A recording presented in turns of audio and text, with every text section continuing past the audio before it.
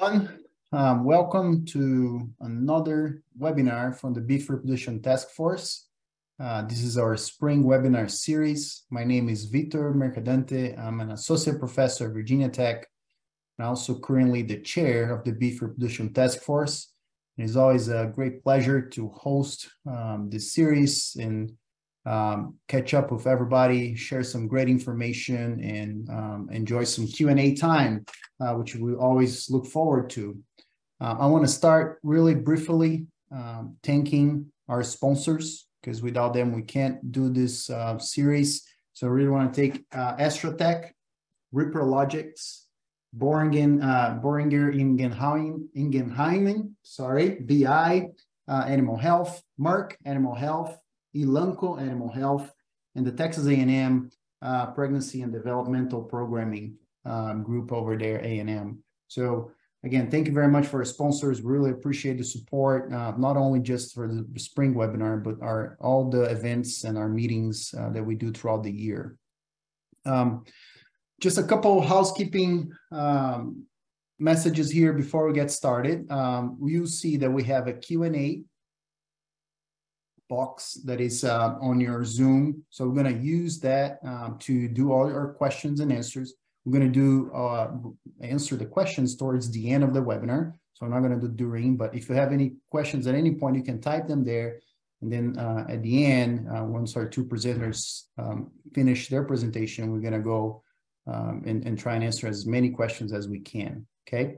I want to remind everybody that this is being uh, recorded and uh, will be later posted on our um, our YouTube channel. Okay, so um, if if you can't watch the whole webinar, or if there's somebody that you know that wants to watch and want to send this to um, later on to somebody want to watch it again, um, please go to our YouTube channel.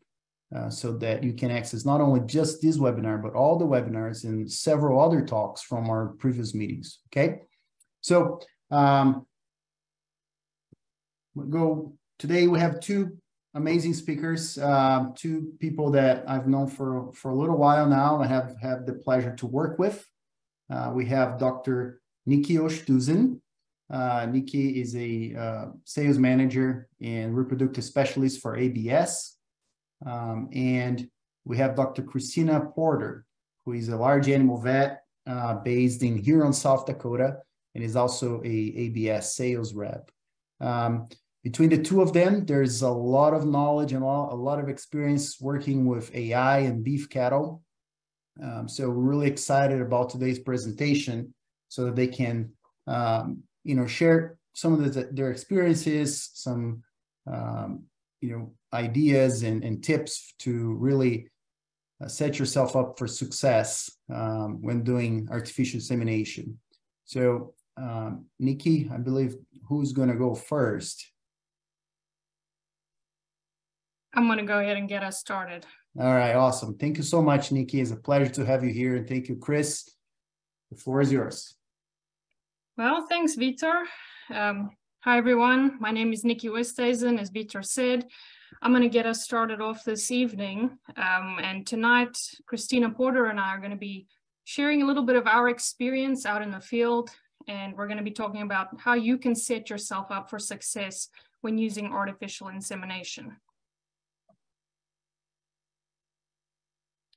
So just a little bit of background on me. I am from South Africa. That's why I do have this accent.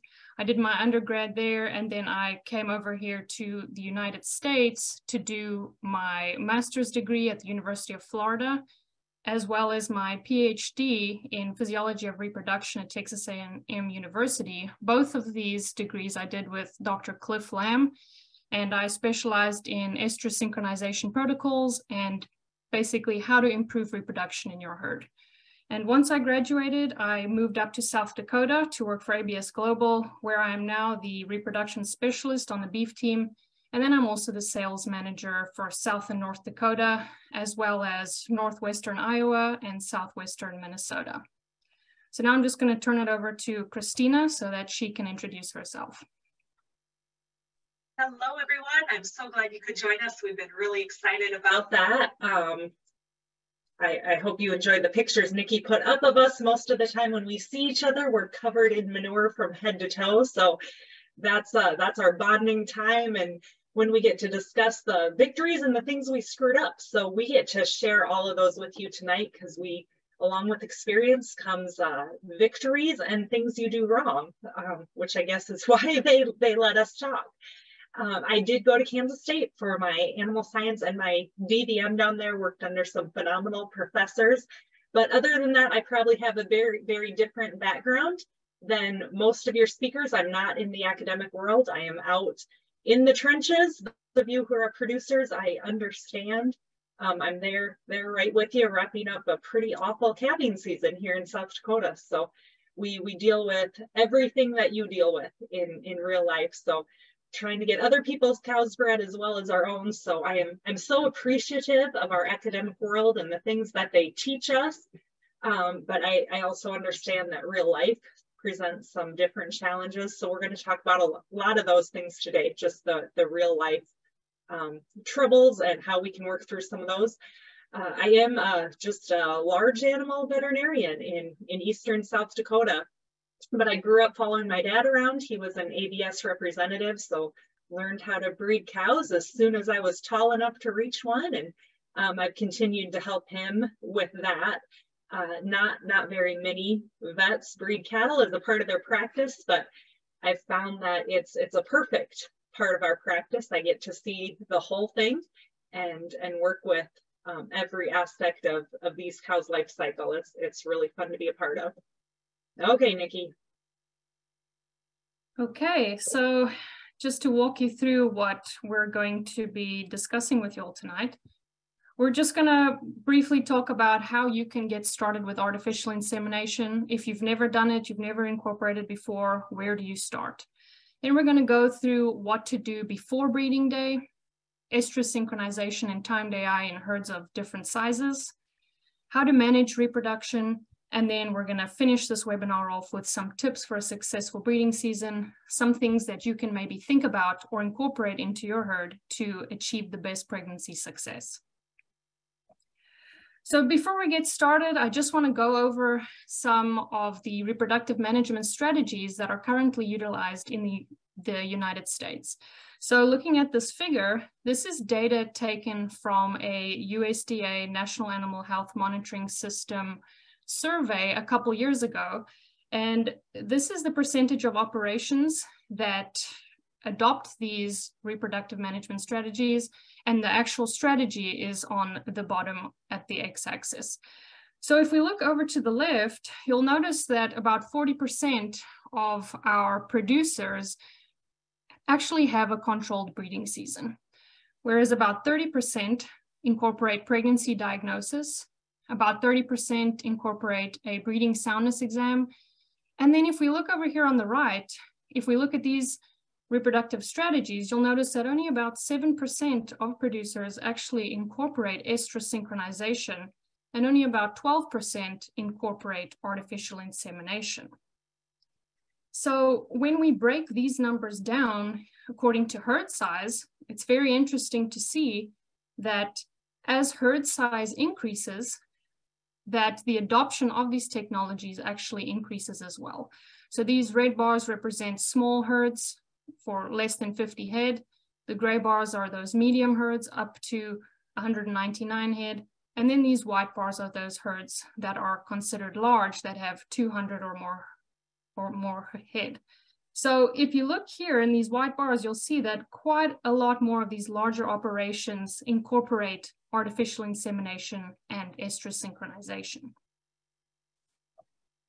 I just want to share some of this data from a research project that was done in South Dakota quite a few years ago. And this is just looking at the data, not according to what was actually being studied at the time, but we, we wanted to look at the data by location. We wanted to see the pregnancy rates by location.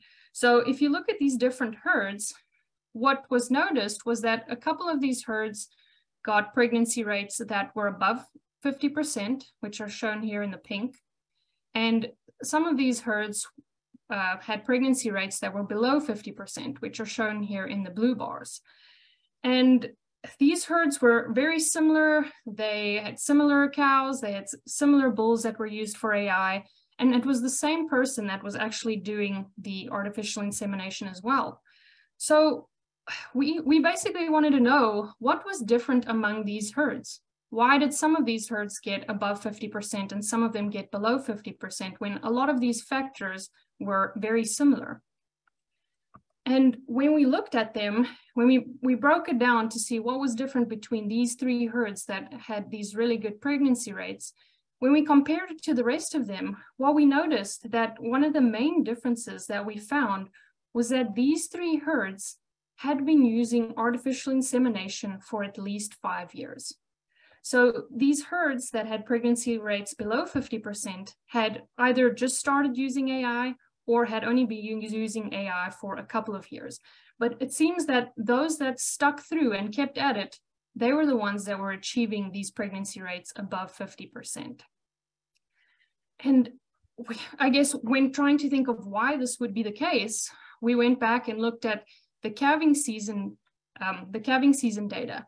And what we can see here is this, this top figure represents those herds that had those pregnancy rates that were greater than 50%.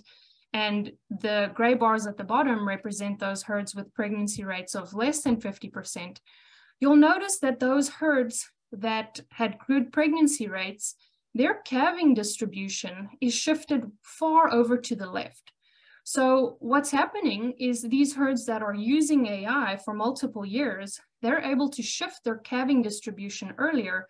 So more of these females are being born near to the beginning of the calving season. And so the average days postpartum at the beginning of the next breeding season in this top herd is about 79 days. And if we look at the bottom herd, it's about 64 days.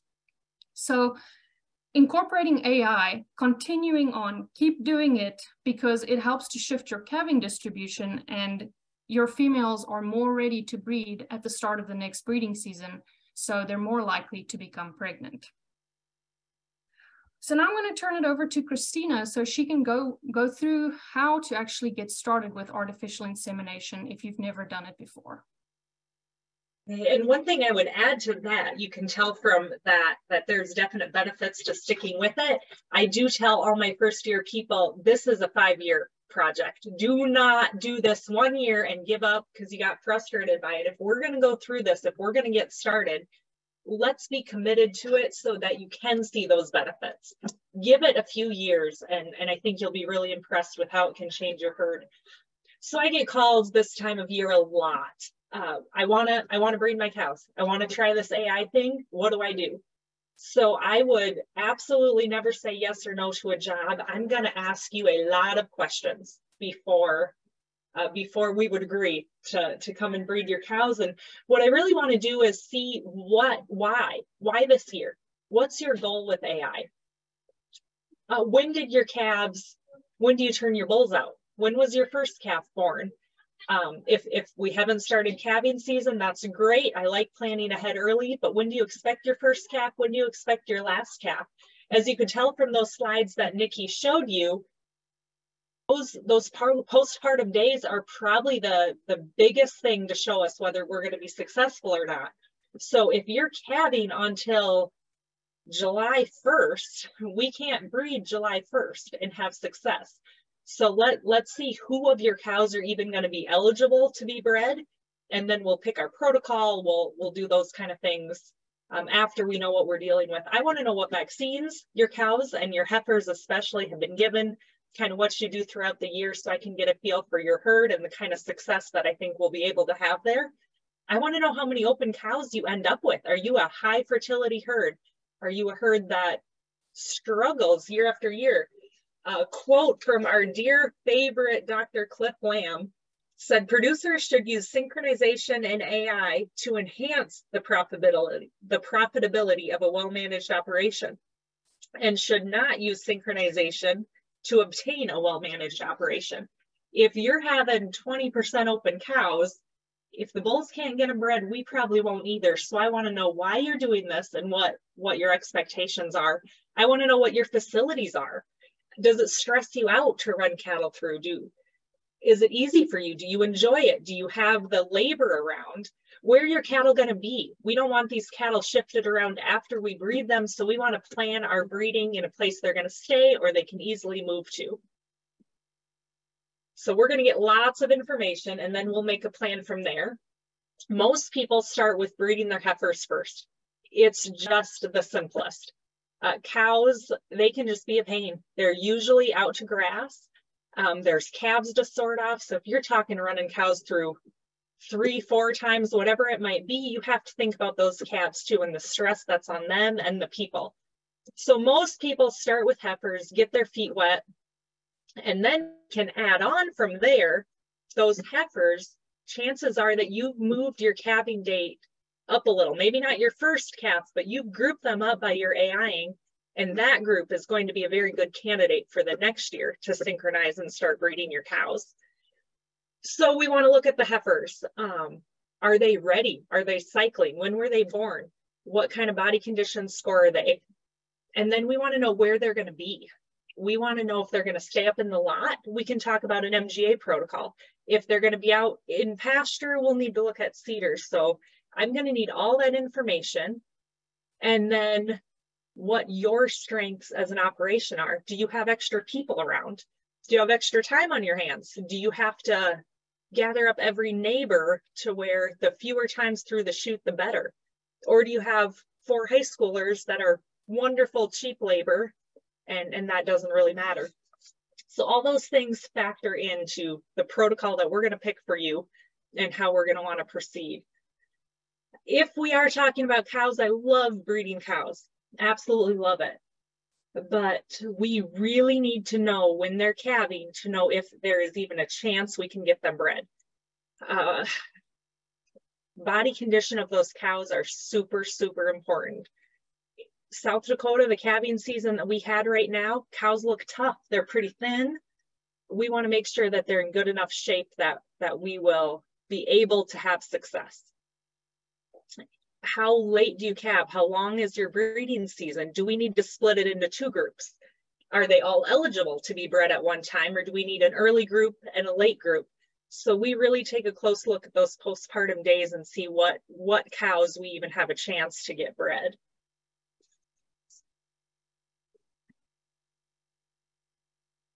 Oh, so I we talk a lot about this 45 days. There's not a hard and fast rule. Um, I really like them being 45 days postpartum before we put a CIDR in. That way they're at least 50 days when we when we breed them is kind of what I'm shooting for. Some cows are ready earlier. A hard winter like this one, they, they might be later. Sometimes it's worth putting a CIDR in those later calving cows, even if we can't get them AI'd, we can move them up a little as bull bred cows so they have a chance next year what protocol you're going to use, we're going to talk more about that later. But we need to know who's breeding these cows. Is it one person who's loading his own guns and it's going to be uh, 50 head in a day is a lot? Or is a crew coming in with eight people that we can get through 600 without breaking a sweat? So your herd size is going to determine the kind of kind of people you need on a crew and uh, the the experience of your inseminator or technician. And we need to know where you are, whether coming more than one time is even an option, or do we just need to get who we can get bred and then make a plan with bulls for the rest of them?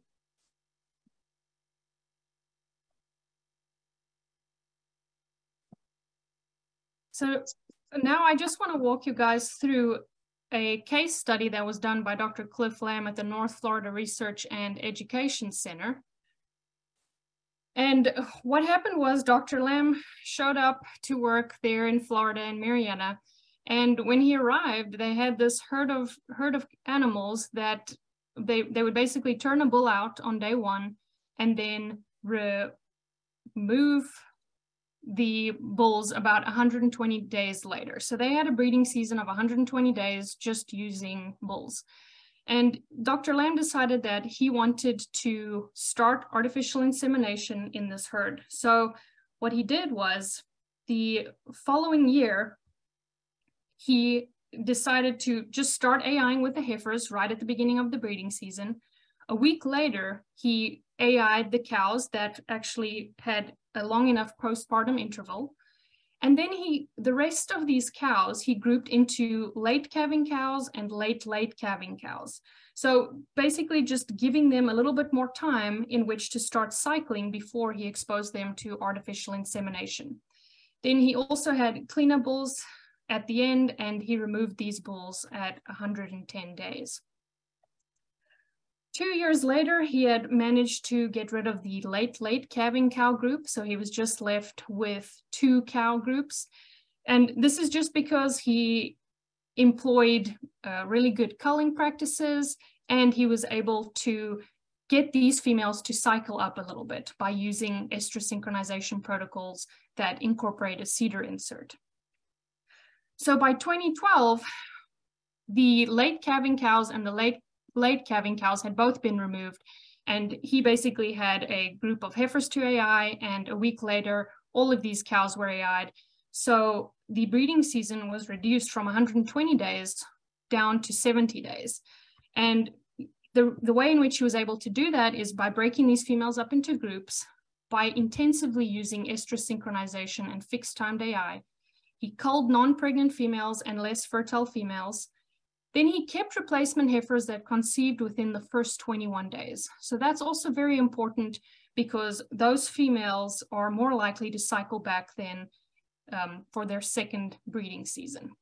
So every year he was able to decrease the length of the breeding season by about 10 days. So it is possible, but you do have to start somewhere. If you've got a breeding season that takes place over 120 days, you're not going to necessarily get down to a 70 day breeding season unless you have very heavy culling practices, but over a period of years, it can be done quite successfully. Absolutely. You have to start somewhere. So don't be intimidated that that this is impossible. There is always a way and sometimes you do just have to jump in and and we can adjust from there as the years go on. Before breeding day, there's a lot of things to worry about. I I hope if you get anything else from this that you realize we can't come in with four different success tips about that day and you have a good AIing season. It starts long, long before that. Most of what we have to talk about today is actually things that take place long before that day we breed. Vaccinations. This is this is a new thing that um, a lot of people, even a lot of veterinarians, are not not adjusting um, to the new research. The companies have always told us that that preg Pregard pre-breeding vaccine, whatever it is, that you're using needs to be 30 days before, we're seeing that 30 days is not enough. We want those vaccines in at least 45 days before. Uh, I would prefer 60 days. So if it's after January 1st in South Dakota, if you if you have a spring breeding season, if we're running those heifers through the chute, we're going to make sure that preg, uh, pre-breeding vaccine gets into them because we would rather it be on the early side than on the late side we do not want to, when we show up to breed, hear that you ran them through quick last week and, and gave them their shots. Even that 30 days is just, just not enough time. We want these animals acclimated to their environment. If they're going to be bred out in pasture, if we can get them out early so they can adjust to the feed, to the distance they're going to walk, to their new life, we're going to have better success. We really, really care about the body condition of these cattle. That's going to change when they start cycling and what kind of success we can have. We want them on an increasing plane of nutrition. Cattle are going to take care of themselves first before they allow themselves to get pregnant and have to take care of another baby. So we need to make sure their needs are all met and then they will let let that body do what we're asking it to do. There's some really, really good numbers out there on, on body condition score. This study is so interesting to me this, this top graph is showing the percent of cows cycling at the start of the breeding season. So the day you turned bulls in, when the season was actually starting, a four and a half body condition scores that cow that she's not dying, she's not emaciated, but she's just a little on the thin side. She just needs a little bit more. Only half of those cows will even be cycling and we're showing up and asking the whole group to get bred on one day if we get those cows even at a five, I, I would not walk into a pasture and think that there's something wrong with your cows if they were body condition score of five. And we're still talking only 60% of those cows are cycling. So if we can have our cows in good shape, there's just that many more of them that can even respond to the sync protocols that we're trying to do. So I hope that this slide two really stands out to you. If they're thin going into calving season, we're going to have trouble on breeding day. And if we're putting that time and money into AI, I would really put the effort into starting before winter to make sure you have them in the shape that you want to. The kind of the same thing on the bottom. You can see that those thin cows, they, they are just not cycling. We don't need them obese, but we do need them in good shape, their body to do what we want it to.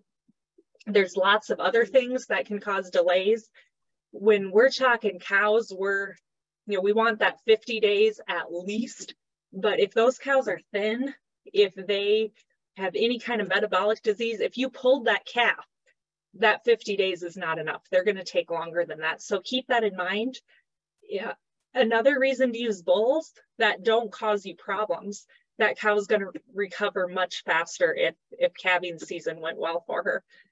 Take care of those uterine infections. Yes, they'll get rid of them on their own, but that cow will probably end up open at the end of the season because it just takes her longer to start cycling again.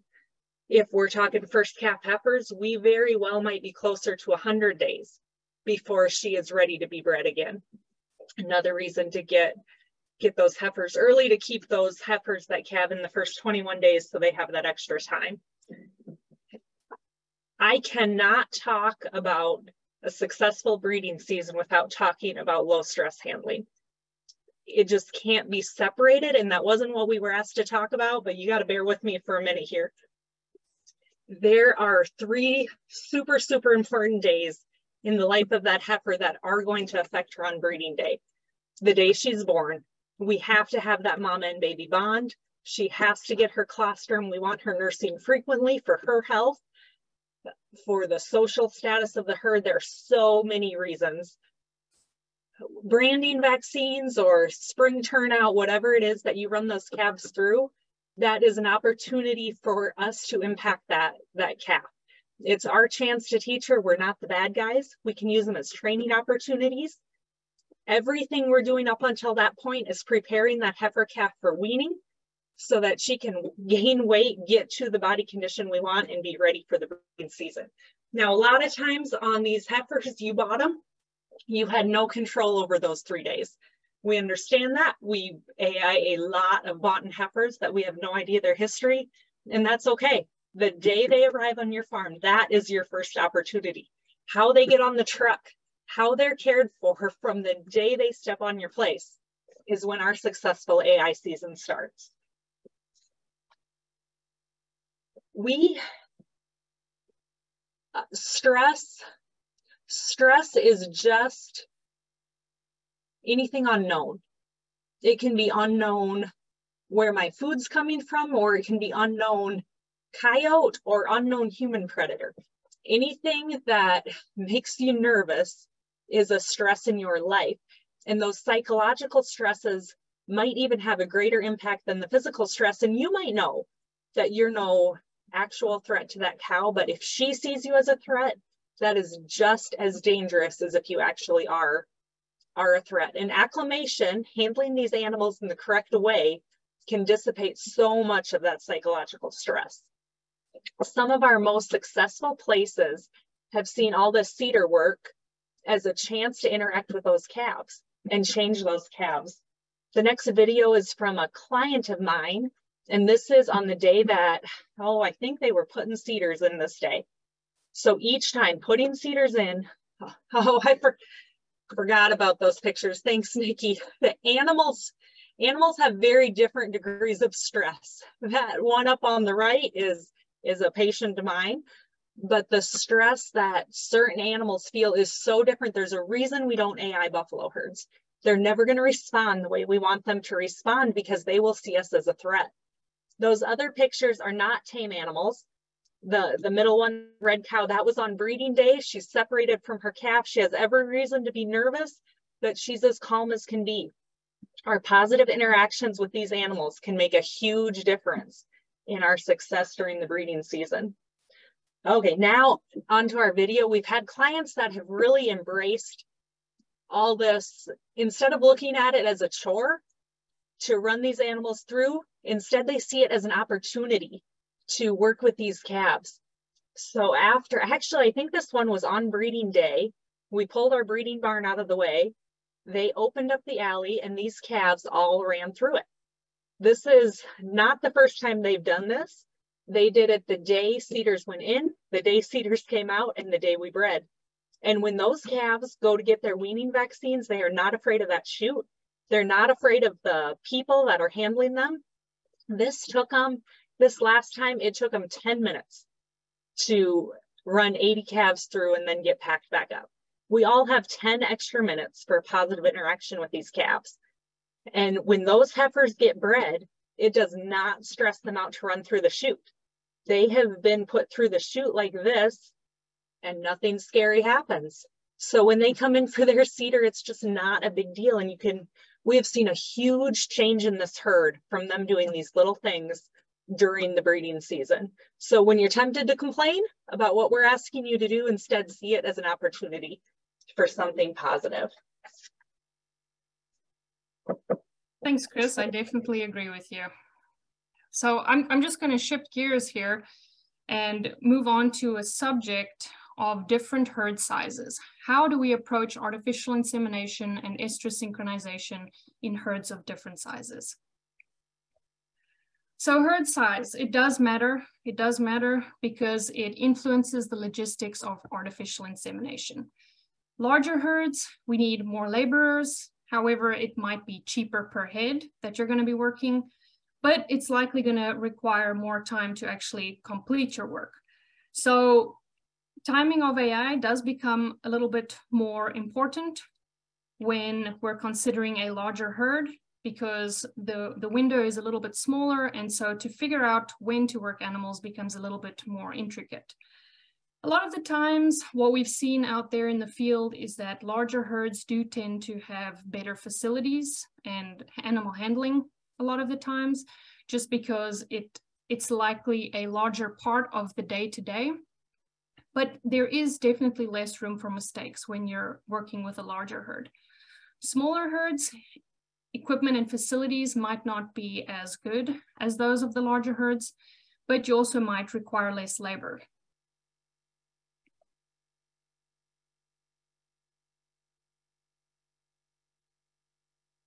So an example of a small herd would be maybe 30 to 50 females. With these smaller herds, heat detection is likely a more viable option because there's fewer animals to actually go through and sort out and you do tend to have a larger breeding window.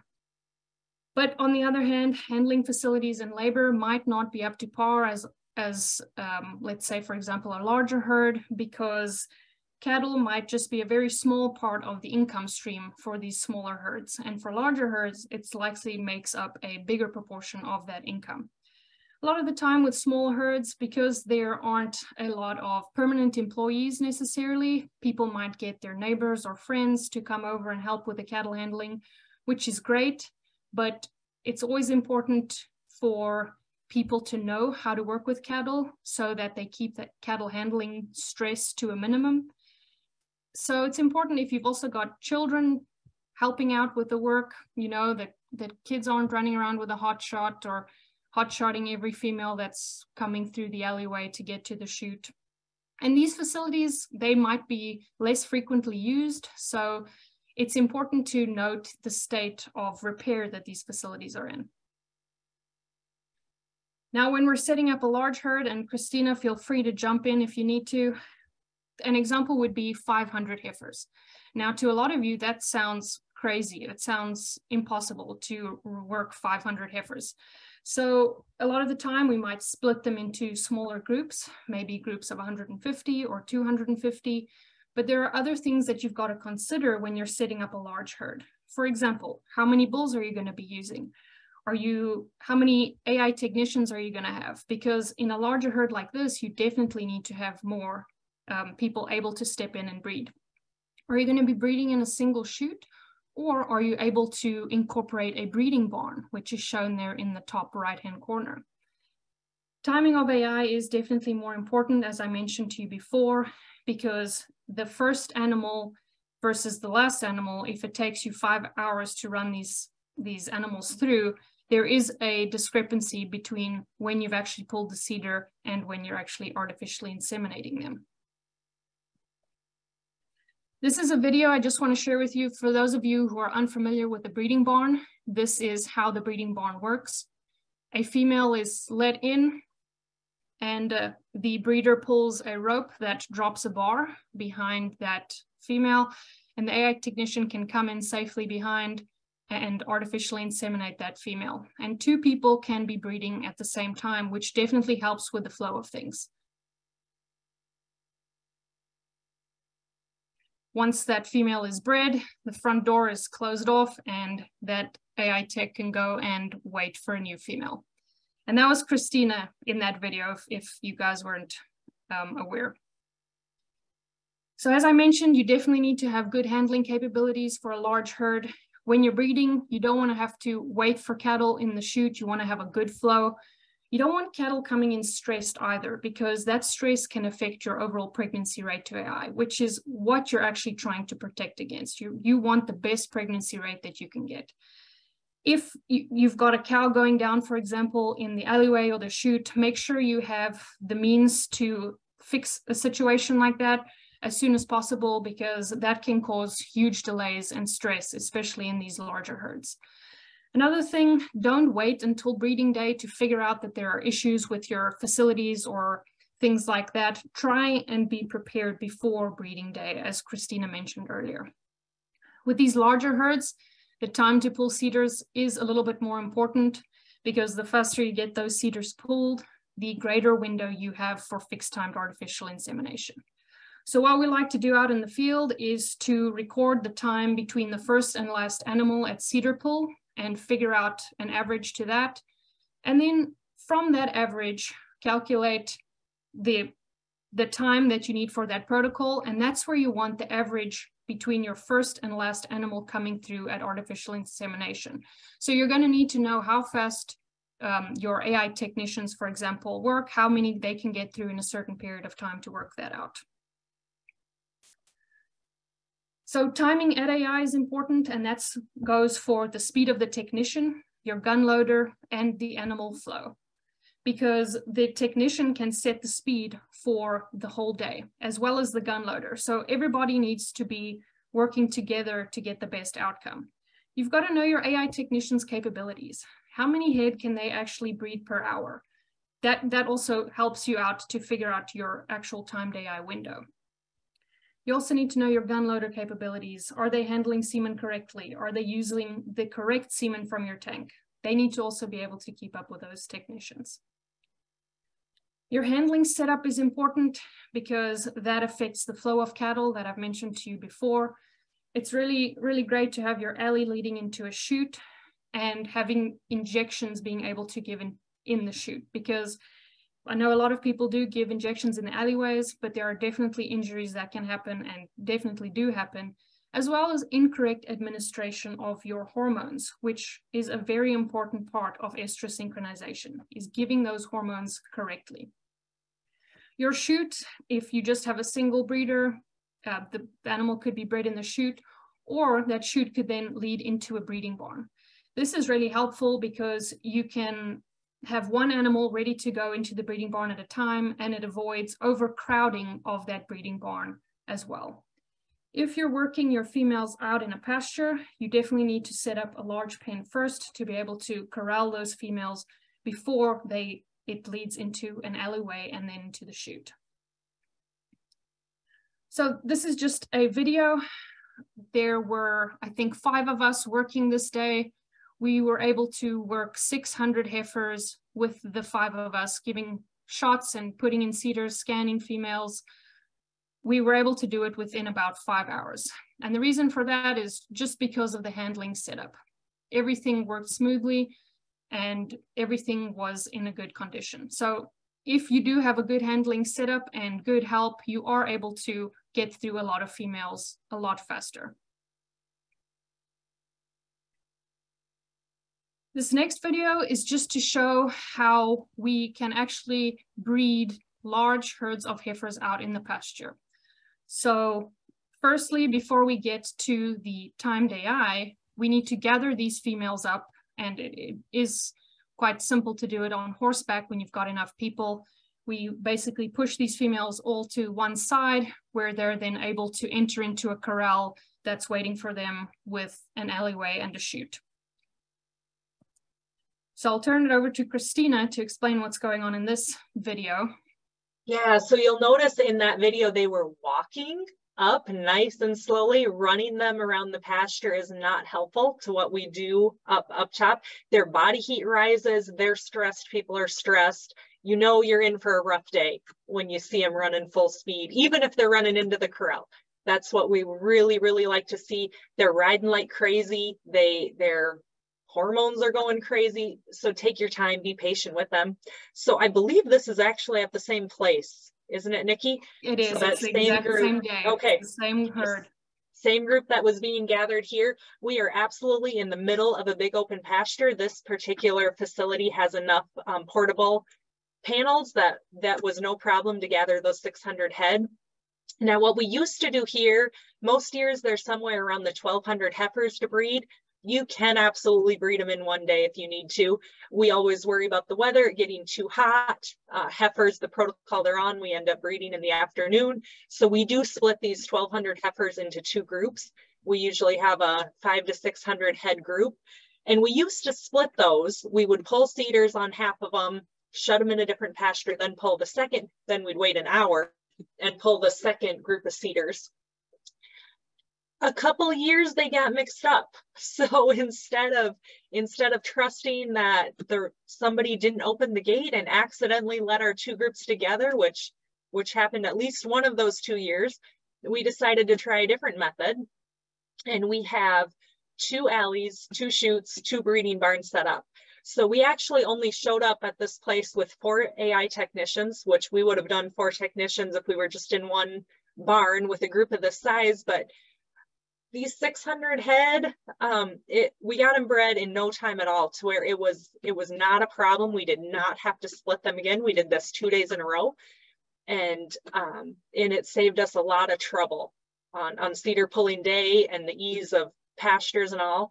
So here we, uh, we did, again, we didn't have extra technicians. You probably should but we figured if somebody got hurt, if something went wrong, we actually had a breakdown in one of the in one of the breeding barns.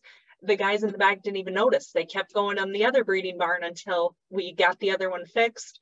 Uh, we try to always think the worst case scenario, whether it be a flat tire on the way to the place or chute breaking down. You know, we figure our timing accordingly. Nicky does the average. I figure if the cow that comes in first to get his, her CIDR pulled comes in last on breeding day, are we still okay time wise? And, and that's how I decide if that they need to be split up or not. So there's lots of different ways to look at it. But either way, plan for things to go wrong. Because if you're hanging out with me, something will go wrong. But this is this is just a fun project that I used to sweat about. Now it's it is not a hard day at all. It just takes a little more planning and preparation and being organized. And there is we've never gotten a call for a size of job that that really scares us. I think absolutely anything can be done. You just have to have the right people on your team and and plan ahead and it would not be an issue at all.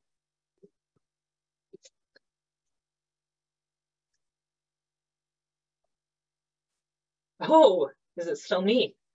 Okay here's the question of the day. This is my most frequently asked question what protocols should I use? And when you tell them it's okay, they're all good, you're going to hear back, but no, which one's the best? There's got to be one that's the best. Uh, they're good protocols. Don't lose sleep over this. The reproduction task force has done such a phenomenal job. If it is listed there on the back of your AI directory, whatever company you're using, I can assure you that we have used all of them and we are not seeing differences out in the field. I know that they have little differences in the research, but from a real life scenario, pick the protocol that works for you.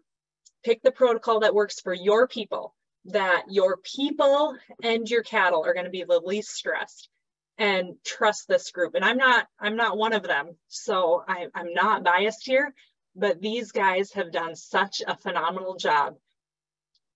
The kind of cattle that you put in these protocols is much, much more important than which protocol you pick. So here's, here's an example. This is all, oh, these are actually almost all the same age of cattle. Uh, just a couple years difference here. This is the same year, this is 2021, so pretty recent data. Six pastures. All six of these pastures were bred within 10 days. This is a herd that we have great success with. But when I glance at that, the first thing that stands out to me is that 44%. Uh, you know, the owner kind of blew it off. He said, yeah, win some, lose some, it's okay. I was sick. And I absolutely lost sleep over that 44%, wondering what in the world was different.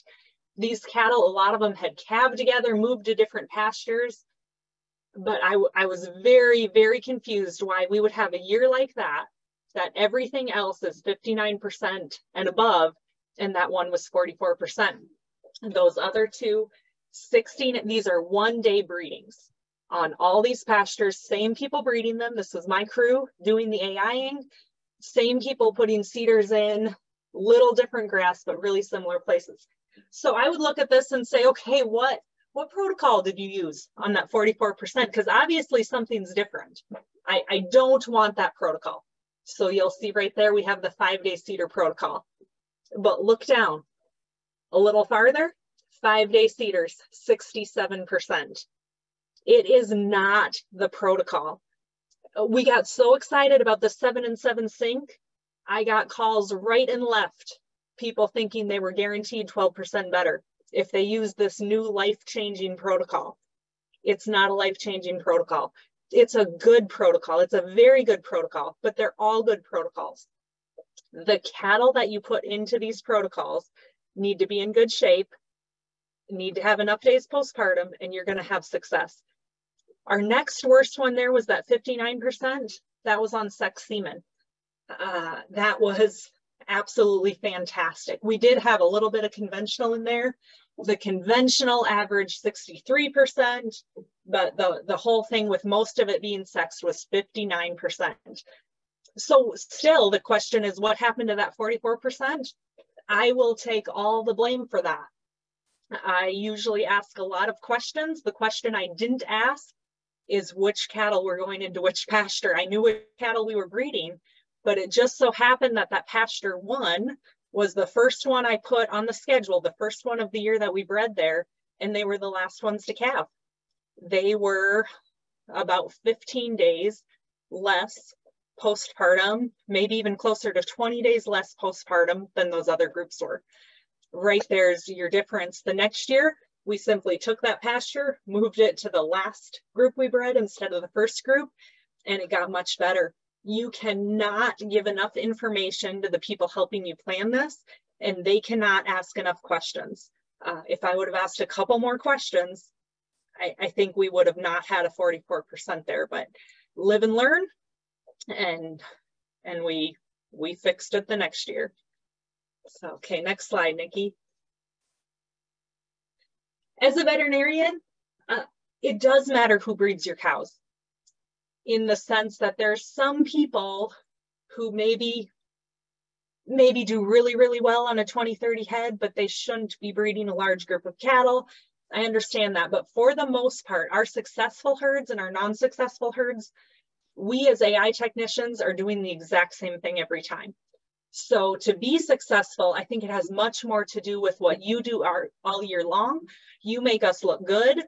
Uh, the details matter. When you get those vaccines in matter, how the vaccine is handled, how it's given, and the mineral program you're on, that those cows are not deficient. The other thing I'd say is there, there's a lot of competition between veterinarians, nutritionists, the guy at the feed store selling you your vaccine, AI technicians, we all want to be the, the go-to for advice. There's no reason we should com be competing with each other. My larger clients, I have their nutritionists on speed dial. When there's a problem, we all get on the phone together. we try to work through it together. And I think we can be so, so much more successful if we work on a team. Go ahead. Okay, I believe the last webinar was about the Estrus Sync Planner. I, I got through part of it and then kids were calling me, so I did not get it finished. But oh, you guys, what a gift from the task force. If you are not using the Estrus Sync Planner, you are missing out. It makes my life so much easier. We won't go through explaining how to use it, but this is a tool you need. This has stopped me from making so many mistakes. Uh, just let it do the adding for you and the counting hours for you, and you you will be thankful. There is a multi um, multi herd. I don't remember what what wording they use. Multi group planner. I don't use that. Old habits die hard. I had my other ways of copying and pasting. So I'll just show you a couple examples of what I do. You can get a sheet just like this with your one herd. Every client of mine gets sent that. But this particular herd uh, has four different groups of cattle on MGA. So it gets complicated. They quit feeding one group of heifers and start breeding the other group. And you cannot be organized enough. There's one of these in in everybody's pocket in the tractor that they're feeding so they can double check every morning and make sure that they're feeding the right pen. So this is, I just copy and pasted from the Estrus Sync Planner, put it into an Excel document. And the only reason I do it this way is because I like to color code things and my little weird ways of doing things. I copy and paste so I can change what I want to change. And right here on two sheets of paper, they have half their summer planned and it, it has saved a whole lot of mistakes. So I have one more example for you of uh, another rather complicated one. It's called the calendar of fun because one person at the ranch called it the calendar of misery and it really ticked me off. So now they all get calendar of fun across the top of it because it it is it's fun when it's done right. It's a blessing to work on these animals. So again, color coded pastures. I started with the Estrus Sync Planner. I just put in the pasture name and I, I put in the CCs and the drug on absolutely every day. This particular operation, 20 employees, chances of somebody grabbing the wrong drug is pretty high at some point. We have been breeding at this place for, I believe, 20 years seven to nine groups of cattle, three times through the chute a piece, at least some protocols. It's more than that. This could be the year, but for 20 years, the wrong drug has never been given at the wrong time, whether time of day or CIDR pull. And it is because everyone walks around with one of these in their pocket and we are all double checking on each other. This herd calls me when they start and when they finish on absolutely every group. And I write in my notebook what time they started pulling CIDRs, what time they finished pulling CIDRs, and then I know what time we need to show up to breed. And fingers crossed, hopefully this isn't the year, but 20 years, all those trips through the chute. And so far, just because of extreme communication, we, we have not had any mistakes in that regard. So be organized, don't assume anything, double check, and it'll get you through those big jobs in pretty good shape. Great. Thanks, Chris. So I'm going to finish off our presentation tonight with some tips for you guys to have a successful breeding season. So if we think about our pregnancy rate to AI that we achieve in the end, it's not just one single thing that affects that pregnancy rate, right? there are so many different factors that are all working together to give you your final pregnancy rate. Things like your semen, its fertility, its handling, your nutrition. Are you supplementing your females? Do you have a mineral program? Health, vaccinations, are you giving them correctly at the right time? Estrus synchronization, are you following the protocol guidelines? Are you stressing your females unnecessarily? There are so many things that you've actually got to take into consideration. But at the same time, you don't have to worry about every single one of these little things because as Kristina mentioned above, you have a whole team available to you. Work with your AI technician, work with your nutritionist. There's so many resources out there to you. Work with your extension specialist. All of these people can work together to help you achieve the best pregnancy rate to AI. So what can you do from your side? How can you help your pregnancy rate to AI? So let's start before the actual artificial insemination. What can you do leading up to Estrus Sync and timed AI?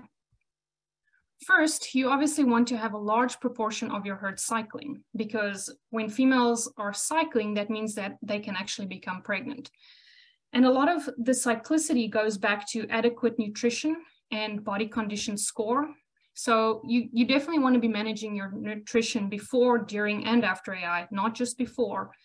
But also, as we mentioned earlier, if you have your females bred to AI and they're bred early in the breeding season, and they calve early in the calving season, they've got more time in which to actually undergo involution. So more of them are likely to be cycling at the time of your next breeding season.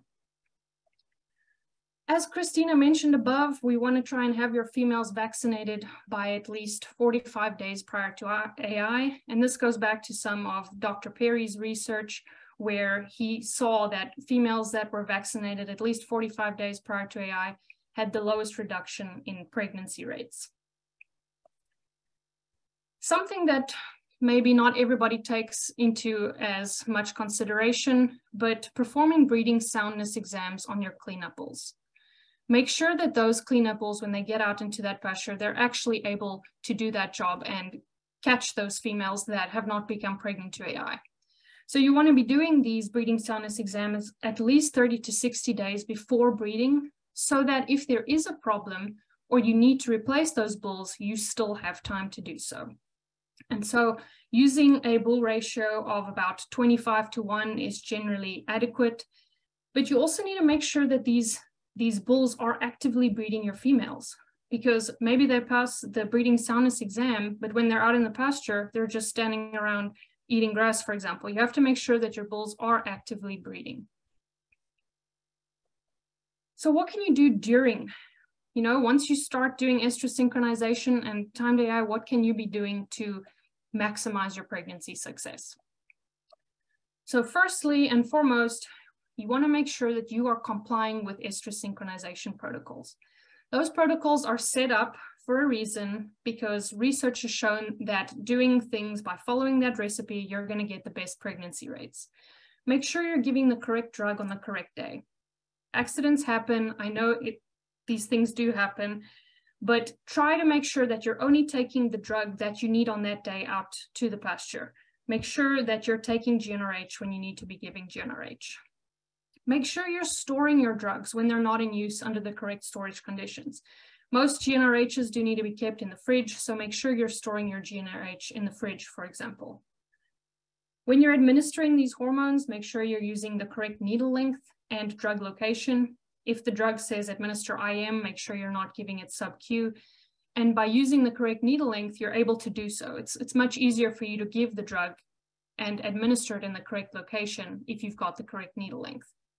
If you're going to be doing heat detection, make sure you're doing it multiple times a day. You might need to use some heat detection aids, but heat detection, make sure you're doing it correctly to as well maximize your pregnancy success. Make sure you're getting your semen from a reputable source. Make sure that wherever you're getting it from, that they have strict quality control procedures. And at the, the time of AI, make sure that the person that's handling your semen is, you know, doing things according to the protocol and leading up to just before AI, make sure that you are storing your semen correctly in a nitrogen tank with a correct amount of nitrogen. You also want to keep your stress to a minimum. I know we've spoken a lot about stress tonight, but it really does make a difference. We can definitely see the difference between locations where animals are being run through the chute, where they hit their heads into the front of the chute versus those females that come in a little bit more calmly. So try and keep your stress to a minimum. So once your AI technician has come and artificially inseminated your females, what can you do on your side to maximize your herd's productivity and pregnancy success? So transporting your females within the first four days after artificial insemination is recommended because that fertilized embryo has not yet actually gone and implanted in the uterus yet. So it's less susceptible to stress within those first four days. And if you cannot, then it is also advisable to wait at least 45 days after AI because research shows that these two time periods have the lowest reduction in fertility when transporting females from, for example, a feedlot to a pasture setting. Use pregnancy diagnosis as a tool because using pregnancy diagnosis, you're able to make a lot of good culling decisions. You want to cull your non-pregnant females and maybe a lot of the time your females that are maybe bred a little bit later and are likely going to fall out of your breeding season next year. Because using things like pregnancy diagnosis and maintaining good herd records helps you, as I mentioned, make good culling decisions. It helps you get rid of these females that are costing you more money than they're actually accruing for you. By maintaining good herd records, you're also able to then distinguish between artificial insemination and natural service calves, which can be very useful to you as well. So I know that was a lot of information for you guys tonight, but we hope you have taken something away. So with that, we'll thank you for joining us tonight. Um, Kristina, I don't know if you have anything else to say, but otherwise we'll open it up to any questions you may have.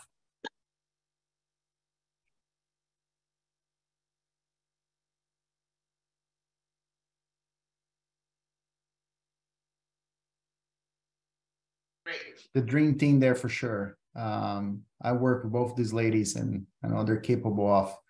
Um, and I bred in South Dakota with Kristina, and it's crazy how fast we can go and how much, you know, how many cattle we can move. And it's um, pretty fun, fun days for sure.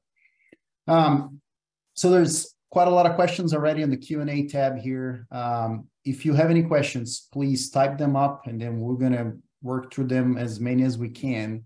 Uh, we cannot stay here for too long, uh, but we're going to make sure we answer as many questions as we can. Um, I'm going to start with a, a question about uh, body condition score. Uh, there's a question about, you know, what's a good body condition score? Um, and I think there's a little bit of a specific question about a slide that was shown like a five and a half, six.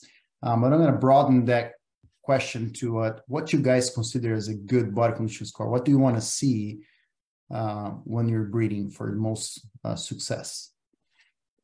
It really depends on the place. It, Western South Dakota cattle that need to survive on rough country, we do not expect to be in a body condition score six.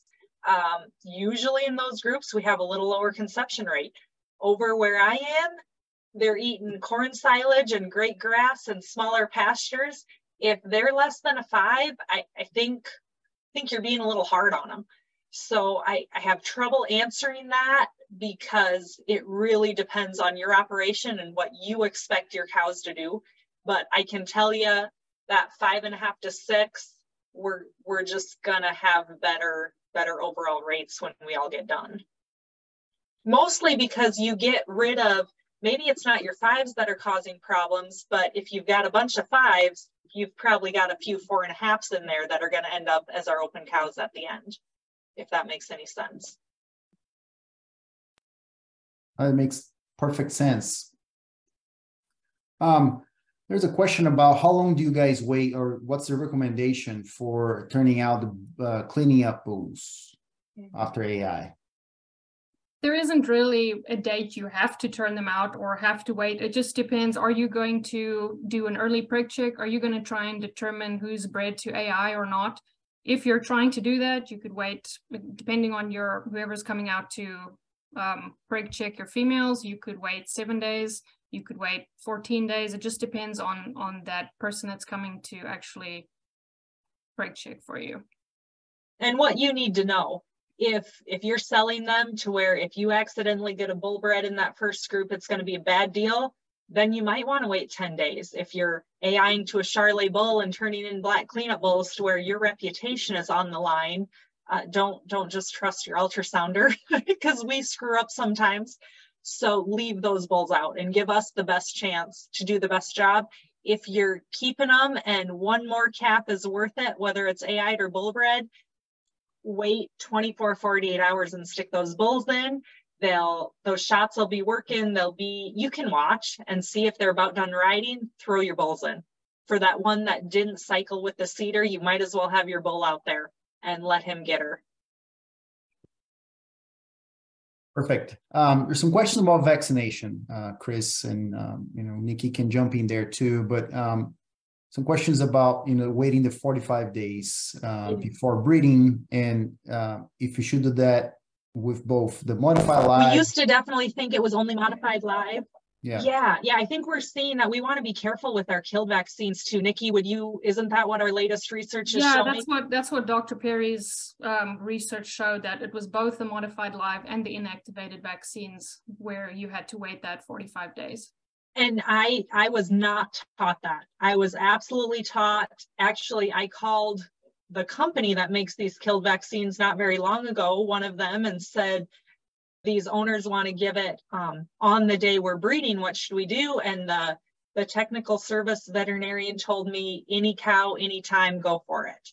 And now I cringe and wonder how much I damage I did that day because we absolutely gave the vaccine on the day we bred. Uh, we didn't have a wreck, but I'm sure we lost a few pregnancies. So I would say it's it's both. Um, I think we just have to give those cows time to respond to that vaccine or anything else we're doing to them. And I think there was a question too about modified live or killed. Uh, again, I was taught absolutely every heifer needs modified live. Do not take a chance on giving them a killed. I'm having trouble adjusting to the new research that is showing our killed vaccines are better than we thought they were. Um, I do in my own personal herd, there's a lot of right ways to do things. We, the heifers get modified live and then we switch to killed in the cow herd. I'm still really comfortable with that. But I think we've got some really, really good vaccines out there, and I would not make a blanket statement of killed or modified live. I can just tell you some protocols that really work, and all vaccines are not created equally. So uh, talk to your talk to your vet. Find a vet that stays up on the research, because again, I I've changed a lot of things in the last few years, and if you aren't out there finding the research and reading it um, there's some things that I I do not do anymore because it's it's really changed. We're learning all the time. So make sure you're working with people who understand that and maybe aren't just doing what we've done for 20 years because we've done it for 20 years. We're we're learning every day. Perfect. Perfect answer. um, so there's a question about uh, preparing this the portable semen tank uh, before placing the straws from the main tank. Um, how soon do you do that, and um, when do you move straws? I guess can you talk about that? I, I know you guys move straws quite often. yeah. Uh, especially for those large type uh, yeah. breeding pro uh, programs. Yeah. Nicky, do you have a good answer? You want me to attempt it? No, no, go ahead. Um, I'm assuming we're talking about the actual small shipper tanks with the portable tanks. So I don't I don't use those. Um, I believe on those you you put the nitrogen in it and it should cool off fairly quickly to where you can start adding your semen. Um, I I use actual stored. I might move it from my bigger tank to my small tank so I don't have to carry that into the field. Um, so it's I don't and maybe not the one to answer that the more I'm thinking about it. But I thought you dump the nitrogen in and it cools it pretty, pretty quickly to where you can put your straws in. So do you move um, straws the day you're gonna breed? For example, even for the you have a bigger tank. Yeah. Uh, the day you're gonna breed, you move into a smaller one. That's what I move it the night before because again, we're always preparing for worst case scenarios. So when I get called to go do a crazy C-section on a feedlot calf, um, and I've got 500 head of heifers waiting for me. We we want to be prepared, and I do. We we use a lot of big tanks with like a 200 250 straw capacity in a can. I don't like taking those out to the field. You're lifting that up and down so many times. You have a lot lot of semen in there. So I do like to move it over to a smaller tank where we might only have 100 straws in a can so it's not coming up and down quite so many times as we're breeding. I don't know if that answered the question. Yeah, no, that's that's perfect. Um, there's a question, maybe Nicky, um, because I, I, don't think Kristina, you work with so much uh, Bos Indicus cattle in South Dakota. Um, you might you might do once in a while. Um, there's a question about um, the protocol that we have for, and I can jump in there too, but um, for the Bos Indicus cattle, um, that it changed between um, more recently. I think it was actually in 2020 or 19 that we changed that protocol. Um, have you? Do you have people um, using that protocol, and um, does it seem to work okay? We up here in the Midwest, we definitely don't have people using this protocol. But what I would say is that if the protocol has changed on the protocol sheet, it's because research has shown that this newer way to handle these animals is better.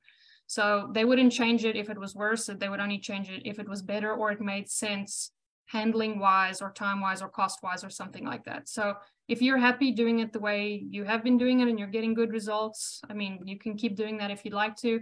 Our updated protocol just shows what we think is is the better option. Yeah, if I'm not mistaken, I think it was kind of like the five day that had the eight hour prostaglandin. Oh, two, um, yeah. I believe that's that's what uh, the difference was. That now it's just a one injection. Together.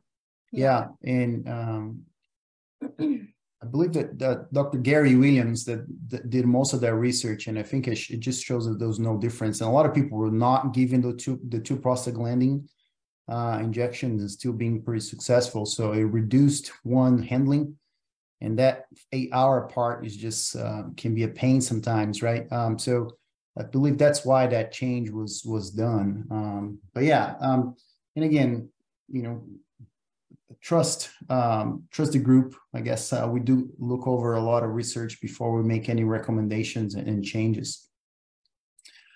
Um, so when using heat detection, when do you breed? How many hours after detecting in heat? Well, for conventional semen, we generally do the AM-PM rule where you detect them in heat and you breed 12 hours later. So if you detect them in heat in the morning, you breed them in the in the evening and vice versa, evening or morning. But if you're talking about sex semen, then that window is extended a little bit and the Beef Reproduction Task Force currently recommends 16 to 22 hours after standing heat. Um, I thought it was pretty cool, uh, Kristina, that you share some of the um, the sex semen um, data, and and so I'm curious about how many clients, how many producers you guys have that are actually using sex semen uh, in beef cattle, and are those commercial or those um, you know purebred people? Yep, yep. Uh, my people, trying to think here, are all commercial. Some of it is they're not breeding any cows, they're just AIing their heifers, and their whole point is to raise replacement heifers. So they just want to maximize every every AI pregnancy because they're not getting enough of them to only keep AI replacement heifers. So that's probably the most common is actually female uh, females is their goal and usually usually just on heifers now we've got one guy this year that wants Simcross cleanup bulls. Can't find what he's looking for. So he's using male symbol on, on one particular group of his cows to raise his own cleanup bull. Uh, some places, not very many, are, are picking their best cows and it really varies what their goal is. I would say we're pretty split between whether males or females are more important to them. Um, yeah, it's it's more. One guy is sex male Charolais this year on half of the herd and black female on everything else. He, the only black thing that that he wants there is is a good heifer to put that char bull on. So it is all over the board. Yeah, and from from a sales point of view, yeah, we have definitely seen a big increase in sex semen over the past couple of years. A lot of a lot of beef producers are using it. And yeah, a lot a lot of female semen, but we're seeing an increase in our our male semen as well because even our commercial guys are realizing that you know they can get a little bit more money at the at the time of you know marketing or slaughter for these these steers. Um, there's a question about CIDRs and um, you know keeping CIDRs clean and um, can you guys share a little bit about what how do you put CIDRs and what your guys protocol? How can you um, i guess what's the, the procedure do you guys do now uh, kristina's the best one? person to answer this because her protocol yeah. is great. All right chris. It's it's pretty simple. Not rocket science. We got two pails of water with us beside the chute with a little bit of a pretty weak disinfectant i'm trying to be cautious in what I use. Um, the, the CIDR gun goes in what we call the dirty pail, get most of the junk off of it. Then it goes into the other pail of clean water with a little disinfectant. Uh, don't open those bags of CIDRs before you need them. It's really easy to throw all 100 on the table. Um, just take that extra second and just put 10 out, sometimes even five and you can save a whole lot of dust and dirt and grime. Think about, I mean, it's going in your cow. It, it's not that hard to just take a second and make sure it's clean. I used to not be nearly this careful, but you you treat a few infections and it makes you be a little more cautious. Um, yeah, and change your water. Don't, I mean, two pails doesn't do you any good if you use the same two pails the whole day. So dump it out. Just just take the extra minute to do those simple little things and you'll make us look good when we come to breed them, even if it had nothing to do with what we did. Yeah, you know what I would add is it's like we do the same thing, right? Having the two um, the, the two buckets of water and changing water after you know 100 some cows, all right, as needed. Um, especially like spring cows now, they just like you know they get just very they get dirty quick. Yeah. Um, but I also, you know, want to say that there's there's research that shows that one, um, if you if you use those protocols and uh, keep things clean, um, that in vaginitis, right, it's very temporary. They clean out really quick. Most cows, by the time we do AI, right, which is like 48 hours to 60 hours after AI, after the CIDR removal, most of them are pretty clean, um, if not completely clean. Um, so so yeah, uh, there, there's a question about using antibiotics with that, and there's so much concern about antibiotic resistant and like really, um, you know, using antibiotics responsibly. So I, I, think we can do a good job without antibiotics and keeping things clean. And again, that that vaginitis um, doesn't affect fertility um, when it's really mild, which is usually what we get, right? Um, so um, so yeah, cleaning, changing waters, uh, cleaning the gun, right? Not just like that's what I tell students too. Like just dumping the the gun in the water doesn't do much good. If the whole gun is dirty, you got to clean the whole gun, right? Uh, and and wash the whole gun in, in the bucket and so on. But yeah, the two buckets work miracles for sure. Um, guys, I think um, I'm going to wrap it up here. Um, this was amazing. Really appreciate, um, you know, the different perspectives, um, you know, the histories of success, the not so uh, good good times, and and sharing those and uh, the difference between being successful and not so successful with AI. Um, so I really appreciate your guys' perspective on on this. Um, enjoy the webinar. Again, I want to remind everybody that this was recorded uh, and it will be available on our YouTube channel uh, here in the next few days.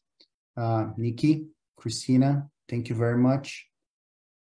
You're welcome. Thanks for having us. Thank you. This was fun to do. Appreciate all the questions too. Yeah. Um, yeah, that's the best part of these webinars is all the questions, right? Um, so thanks again, everybody. Uh, have a good night uh, and keep an eye on our YouTube channel or Facebook. Uh, we will post it as soon as we get this edited and, um, and ready on our channel. Thanks again. We'll see you guys next month with another webinar. Have a good night.